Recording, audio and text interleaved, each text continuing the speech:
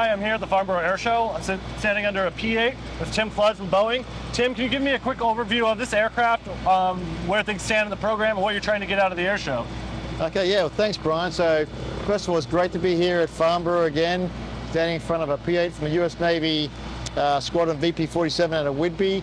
Uh, this is a fantastic program for the Boeing company. Very proud of uh, the fact that we have managed to deliver all of our aircraft on or ahead of schedule, and we have a really bright future with uh, with, uh, with with quite strong demand moving forward. So, as it stands, we just delivered our 150th aircraft.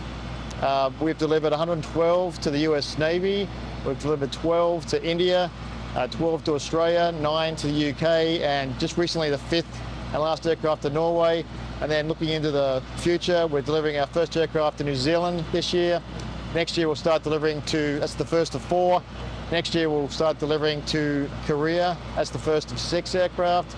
And then in 2024 we'll start delivering the first of five to, to Germany. Beyond that, we're seeing really strong demand around the region as countries start to see the uh, emerging and persistent ASW threats. It's putting more and more of a focus on the need for maritime domain awareness, uh, awareness and ASW capabilities, which is why we're starting to see an uptick in, uh, in demand for the aircraft. And I understand Boeing had developed a new pod for the P-8 that you're shipping. What what is the target for this this market? What is the pod capable of? And have you have you had a launch customer yet? Uh, yeah, right. So the P-8 itself was uh, you know, a fantastic aircraft in terms of its multi-mission capability, but what we did is developed a multi-mission pod which uh, fits under the center line of the aircraft. It's a 24, a 20-foot uh, pod that is basically customizable for each user.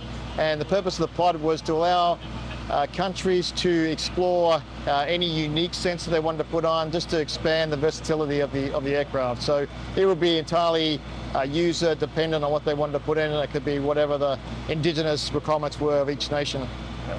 And as far as our launch customer, uh, we, have developed it and uh, we're still marketing the capability and we're looking for um, a launch customer down track. All right. Well, Tim, thanks so much for your time. Sure. All right. Thanks.